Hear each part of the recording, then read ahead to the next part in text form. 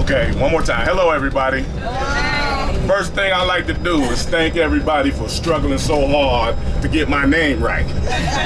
And you guys done a good job because I, I've been called a lot worse than what you call my name. So a lot of you got my name right. Um, everybody on this bus has become like a part of my family. You know, um, Yes. such a relaxing, busy, pleasurable time.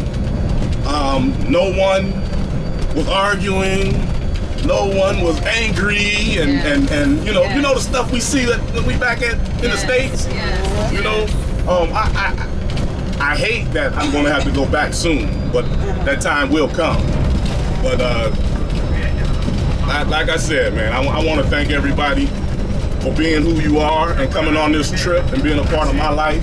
Thank you, Bomani, for everything you've done. Thank you, Kobina, for everything you've done, man. And bus driver, I'm a tractor trailer driver myself, man. Some of the moves you pulled off. Woo! I don't know. I, I, I, I had to take my time on that one.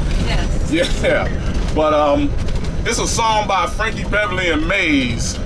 It's called uh, "Woman of Magic." I was gonna squeak it for you, but I don't think I'm gonna squeak it. So, but but if you get a chance, look up the words. I, I dedicate this song to all the women in my life, and you are a part of my life. So if you get a chance, check it out, please. You know, um, this has been my second time around. I learned more than I did the first time. Um, I get a chance to stay on the continent a little bit longer. A little nervous about it, but you know where I'm staying at is where we had our uh, New Year's Yeah. uh, celebration at. Yeah, so it's right across the street from One Africa. So that's that's all good. You know, so that's all good. But um, the, the experience this time around was wow.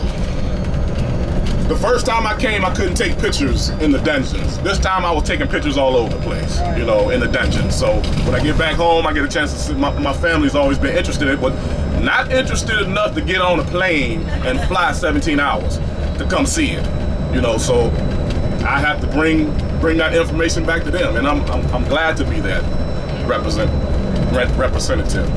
Uh, someone was saying the other day, or I can't remember who it was, but he said that we are the misfits of our family. And boy, did he hit that on the nose. You know, I, I am definitely the misfit in my family. You know, uh, y'all know don't eat meat. They look at me like I'm crazy. Um, used to be a Christian, no longer a Christian. So a lot of changes have taken place in my life, man.